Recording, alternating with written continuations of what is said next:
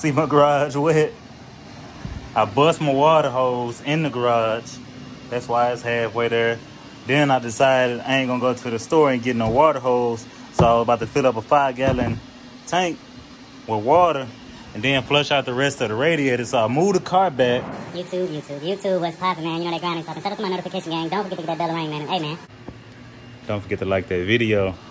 Yes, sir. Hey, man, shout out to J Poe, man. He told me stop skipping over my intro, so I had to get back to y'all with the intro. But yeah, today we're gonna be changing the radiator fluid on my uh, box Chevy. As you can see, I never showed y'all this because I was embarrassed. I ain't gonna lie, I was embarrassed of it. So y'all know I cleaned out the actual little thing here. Look pretty dirty in there. Had to flush it out too. But this the problem right here, y'all. Got the new battery, new terminals, new new alternator, new alternator. I told you I was gonna upgrade the alternator. But yeah, check it out. It's super dirty inside. You probably can't tell. But if I shake the car a little bit, see that? It's like brown, man. Look at my look at my radiator cap. I can't be rolling around like that. So most likely I'm gonna flush it. I'm gonna see what my my thermostat look like. I'm gonna take this hose off. These brand new hoses, brand new upper hose, brand new lower hose. I'm gonna take that hose off, drain it, let it drain, hook up my water hose to it, flush it out. I pull my car back a little bit so that way it can run, it can run out. And I also got my AC on because it's hot. But I, I pulled my car out the garage a little bit so I'm still in the shade. But I still can like, I can get this area wet a little bit and I can push that water out. But if I did it back here, then it wouldn't be, uh, I wouldn't be able to get rid of it as good. So let me, let me stop the talking, man, and go ahead and get to work. And I'm gonna put y'all up on the mount and then we're gonna, we're gonna get it in. Let's go. All right, so right here, I'm gonna be taking off the upper radiator hose. I fast forwarded a little bit so that way we can uh, expedite the video. Dropped it in there, you know. Hose failed, had to pick that up. It's all good. We're still draining it. All right, so I got it out. See everything dripping. I'm gonna have to do a little bit of cleaning up. I gotta clean up for the wife get here. Know how that go. So check it out. I'm about to hook up my water hose to this uh, my upper housing here.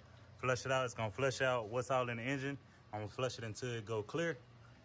Now be good on that side. Then I gotta flush my radiator till it's clear. What's next?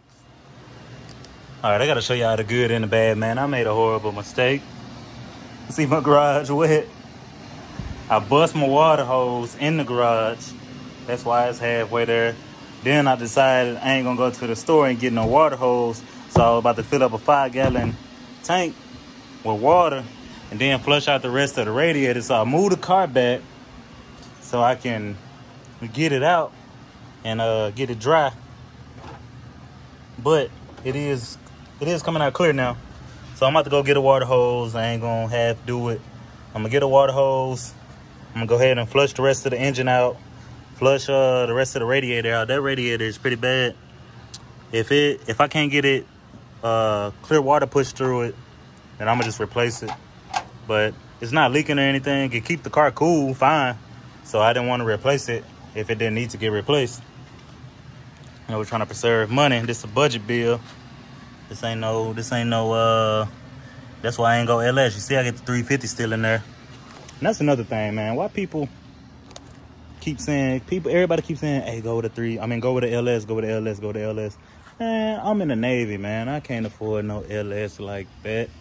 I mean, I probably could. Nah, I probably could.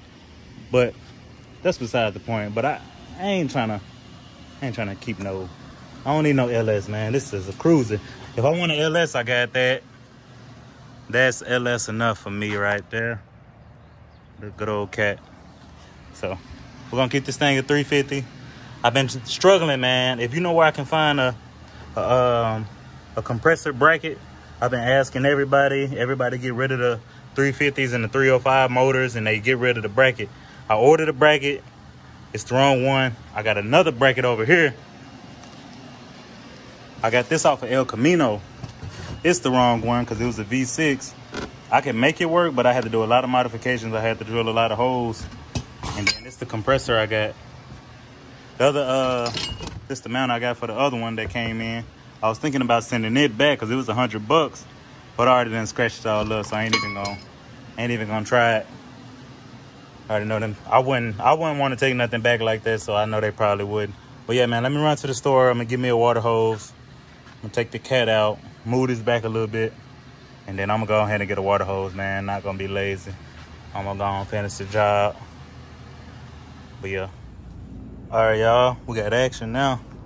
So now I'm to the point where I'm about to fill it back up. I got it as clean as I could. It's no, it's all clear. Liquid's coming out now.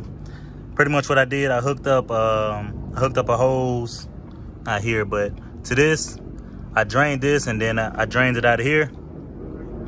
And then once I drained it out of here, I put the hose inside of this hose and it ran through here and it drained out that hose right there. So I cleared that. And then once I cleared that, I came to this side because this side has some sludge in it. So I came to this side, I sprayed it, and now that uh now that's coming out clean. Did the same thing with this. Still a little dirty. It'll never be super clean, but I got as clean as I could. That's why people be like painting these and stuff because it's hard to keep them clean with these old engines. But we're in the game now. I'm gonna go ahead and fill it up. I'm gonna run it for a little minute, let it cycle through the engine fill the rest of it up, and then we're good to go, man.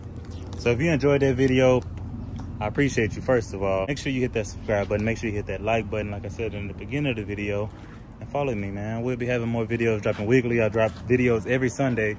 And I will start going live. I'm going to try to go live at least once a week. The days will be, um, not stagnant, but staggered because certain days I have things going on. Certain days I have duty and stuff like that. So I can't go live every day on one day of the week. But yeah, man, we out. Peace. Thank you for watching.